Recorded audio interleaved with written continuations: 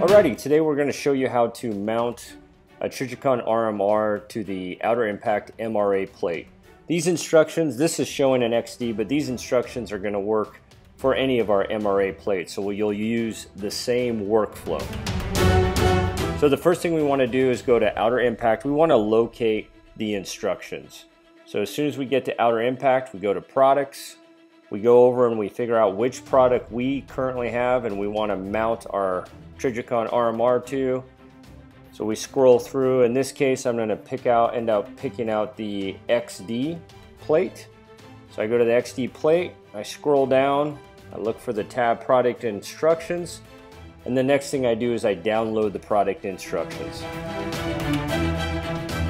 After the product instructions are downloaded, I'll locate the mounting pattern for the Trijicon RMR, and I need to locate where the alignment pins go. And we'll see that represented by the pins marked by the two red arrows. Now I'll grab the pins and I will put them in the holes the instructions told me to put them into.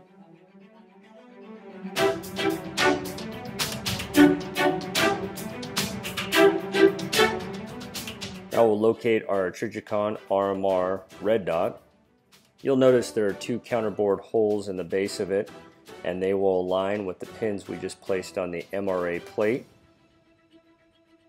Takes me a little moment here to try to get this lined up and there we go, it pops into place.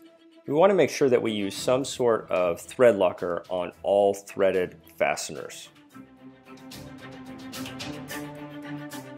We're going to snug the screws down. Get them snugged into place here. It's important that we make sure our red dot sight screws go to the proper depth. And you can click on the link or click on the link in the description to see a video that further discusses this. So we want to make sure we get our screws into place, we snug them into place, and then we'll grab a torque wrench and we will torque them to 12 inch pounds. If you find these videos helpful, please click the subscribe link below and once again, thank you for choosing Outer Impact products.